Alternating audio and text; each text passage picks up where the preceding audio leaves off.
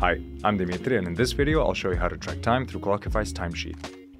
Employees who need to input a large amount of time at the end of the day will find the timesheet view a much faster method for adding time. Let's dive right into it. In case you don't see timesheet in your sidebar menu, click on the three dots at the top left and choose Workspace Settings. Here you'll have the option to activate timesheet. Toggle the switch and the timesheet will be ready to use. When we enter the timesheet tab, you'll see an overview of your week day by day. To add time to it, first we need to choose a project by clicking here. A list of all of your projects will be displayed. Select the project that you want to log time on, click on it, and then enter the time. If you set the duration format as decimal in the workspace settings, you can just type 2 and it'll become 2 hours. You can also change when the week starts in settings so that the timesheet reflects it. Time Tracker, Calendar, and Timesheet all share the same data so you can use them interchangeably, just like I mentioned in the Calendar tutorial. The total number of hours will be displayed for each day here, for each project here, and for the whole week here. For each new project that you want to add, click on the Add New Row button. A new row will appear in the timesheet, offering you a list of projects to choose from again. If you click on this little expand icon, a new window will open up, and you can find the project you need more easily. Also, you can search for the project name or client in the search bar. To search for tasks, turn on the task filter in personal preferences. If you'd like to record working on a specific task for a project, expand the task list by clicking on the drop-down icon, and then you can select the task you need. Now next to the project's name, you have the task. To add more details to an entry, or to edit its existing values, click on the three dots next to the entered hours. Now we see a pop-up window that allows you to change the entry's duration, write a multiple line description, add tags, or change the billable status.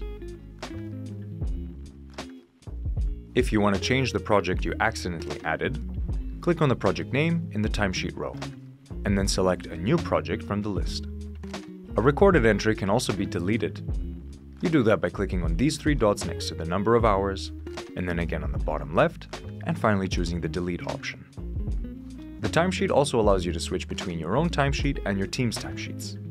To see someone else's timesheet, click on the Teammates filter and then choose a person from the list, or use a search bar to find them.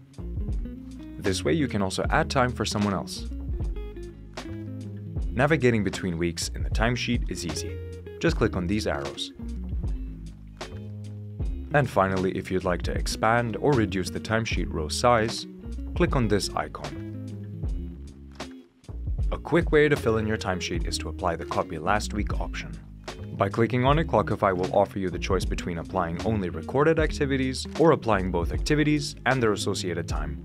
After you choose a preferable option, your timesheet will be automatically populated.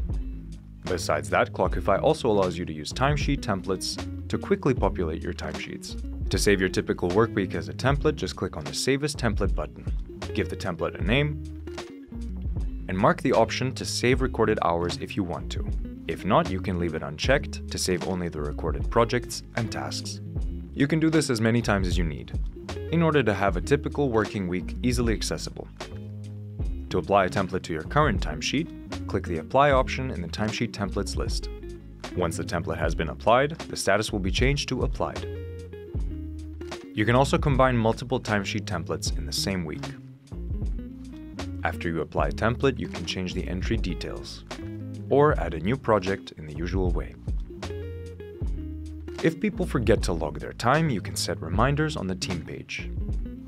For example, you can set that everyone who tracked less than 40 hours at the end of the week will get an automatic email reminding them to add their hours. Timesheets can be submitted for approval, First of all, the approval feature should be enabled. Let's go to the Workspace settings, scroll down in the General tab, and switch the approval feature on.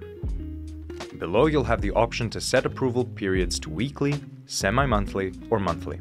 Now you'll notice the Submit for Approval button below the timesheets. After the timesheet has been filled out, click on the Submit for Approval button. After confirming the choice, the timesheet will have a pending label. To set who will be reviewing and approving timesheets, Let's go to the Workspace settings and choose the Permissions tab. We have the Who can approve submitted timesheets and expenses option. By marking admins and team managers, team managers can approve timesheets and expenses submitted by their assigned team members. And by marking admins and project managers, project managers will be able to approve timesheets and expenses for all the submissions on projects they manage. In both cases, admins can approve time for everyone. To manage approval, choose the Approval section in Clockify's sidebar. The Pending tab lists all pending requests. These can be approved in bulk or reviewed and approved one by one by clicking on the request to show more details. Let's say there's a little mistake in your timesheet. A submitted approval request can also be rejected. Click Reject and type in what needs to be corrected before the timesheet is submitted again. If there's a mistake in an already approved timesheet, the approval can be withdrawn. Just go to the Archive tab, open the request by clicking on it, and then click the Withdraw Approval button. You can enter a note as well. In the Pending tab, you can also remind managers to approve submitted timesheets.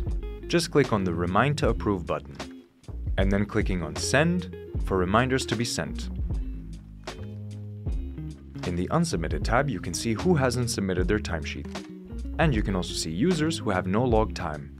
If you click on the Remind to Submit button, and then Send, all users who have logged time but not submitted their timesheets will receive a reminder to do so.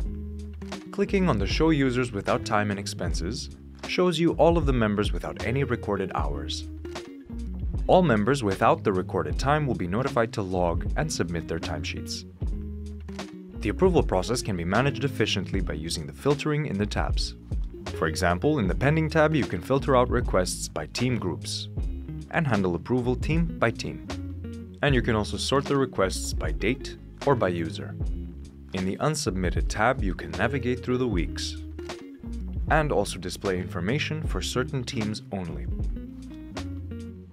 Filtering in the Archive tab works pretty similarly.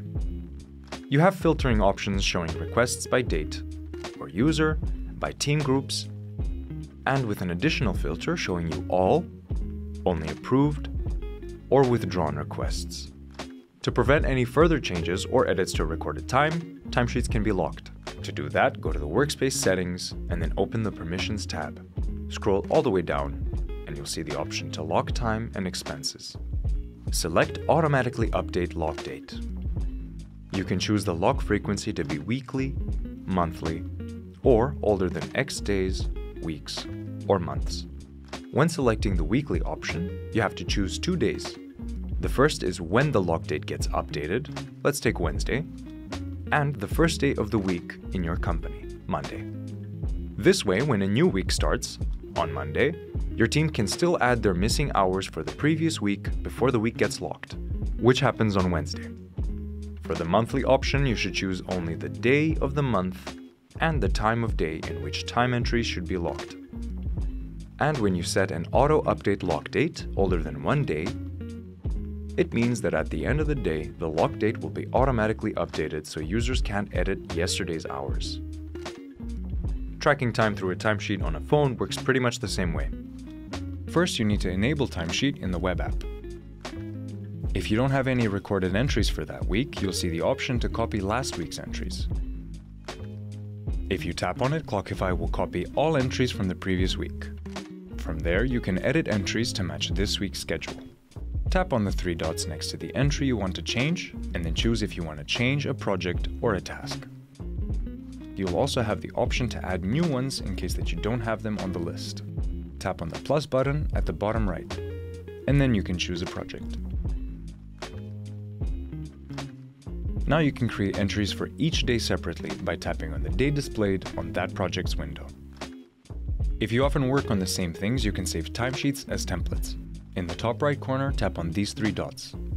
Add the template name, and then tap Create. Now, when you open a week with no entries, there will be a new option to apply template. Choose which template you want to apply, and Clockify will copy those entries to that week. As for the iOS version of the app, the timesheet feature is pretty much the same, save for some visual differences. You'll see the option to copy last week's entries. Tap on the entry that you want to edit, and then choose if you want to change a project or a task. Now you can create entries for each day separately. You can save timesheets as templates. Add the template name, and then tap Done. Apart from the copy last week's entries option, you'll also see the option to apply a template. If you're looking to learn more about Clockify's features and time tracking in general, you can check out our YouTube channel. And as always, thanks for watching. Bye bye.